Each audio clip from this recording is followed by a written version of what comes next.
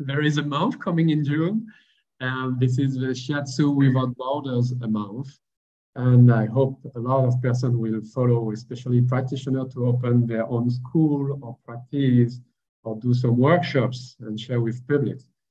And during this month of June, uh, we, we have also a full week in France about this uh, events around Shiatsu.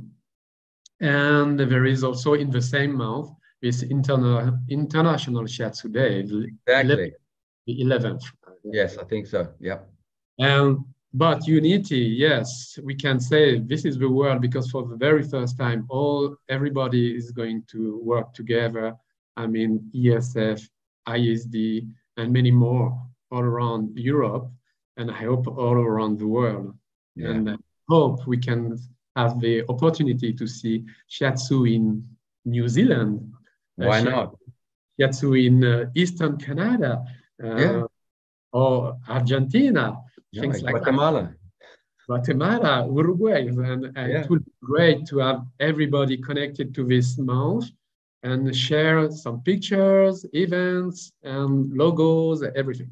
And films, right? If you're doing events. Yeah. So, so this is a call going mm-hmm. out to the global Shiatsu community. Get active, folks.